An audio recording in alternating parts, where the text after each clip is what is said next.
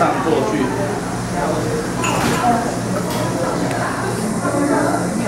这时候好了之后，对不对？我我会把我的呃火加大。那平常在家里有煮散用嘛，对不对？那我今天充足的方式其实会更简单。那层次风味表现出来，也还是会非常好。不会因为我今天用简单的方式去冲煮，冲出来味道就不好。其实我们透过这样子冲煮的目的呢，是希望我们萃取过程里面萃取出比较多这所谓抗氧化物的部分。好，来。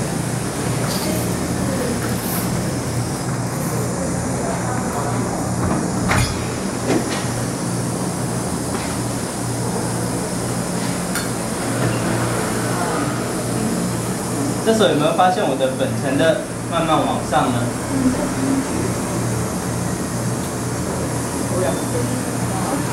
那这个动作呢，我是要让它做闷蒸的一个动作。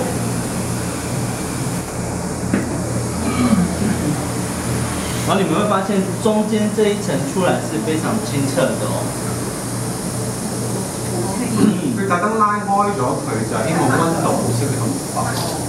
所以佢唔想個翻騰嘅作用，令個粉咧 break 咗，變咗你这时候好了呢，我先来整一下我的粉，泡的粉呃都是均匀的铺到水分。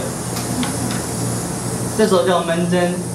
那现在我要开始让它做炖煮的动作。现在已经叫呃炖煮，我里面的粉尘在翻布的时候，我把火关掉，就来做搅拌。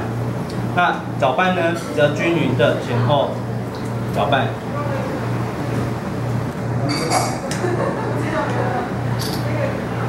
这样就可以了，跟我们一般外面看到的虹吸式的冲煮方式不太一样。那因为我们家汉克咖啡的冲煮概念呢，是温度细、温度高、冲煮时间短，也就是说，我们整个水上去一直到结束冲煮下来，你大概只有一分半到将近一分四十秒的时间就结束，这时候出来的咖啡就可以喝了。那目的我们会是这样萃取，是萃取过里面，希望萃取过程较多的抗氧化物，对我们人体是一个很好的一个帮助。好，来一下哦，这是我的虹吸就好喽。哎，你好，谢谢，谢谢，不过你很讨厌。